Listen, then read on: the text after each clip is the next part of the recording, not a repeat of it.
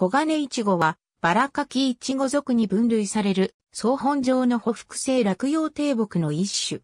種小名は、葉の形態の鳥足状のを意味する。和名は、文化が小判型で光沢があることに由来する。茎の高さは5から12センチメートル、針金状で枝分かれし、トゲはなく、地を這い、節から細い髭状の根を出す。若枝と傭兵に、短い軟毛と繊毛がある。葉は三質服用旗は五質服用。商用は鳥足状に三列するか五前列する。商用が三個の場合、側小葉が深く二列する。頂き商用は長さ1から3センチメートル、幅0.7から2センチメートルの楕円型で両面に複毛がある。葉は越冬性。卓葉は卵形、生倉頭で角質、乾くと耐褐色を呈し、長さ2から4ミリメートル。枝先に白色の花を上向きに単生する。花の直径は1.5から2センチメートル、花弁は4から5個で、大きさは不揃い、長さは6から7ミリメートル。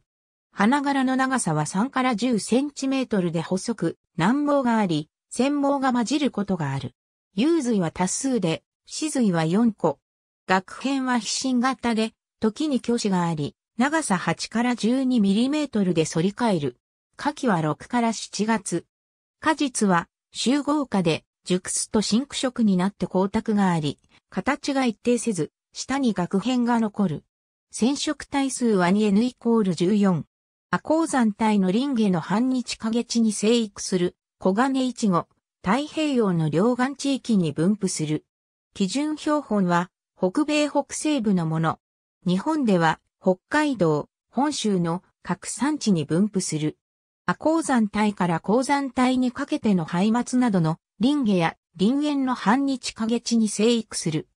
日本では以下の都道府県でレッドリストの指定を受けている。栃木県立自然公園条例などで、県立自然公園の特別地域内において、許可を受けなければ採取し、または損傷してはならない、高山植物その他これに類する植物の一つに指定されている。ありがとうございます。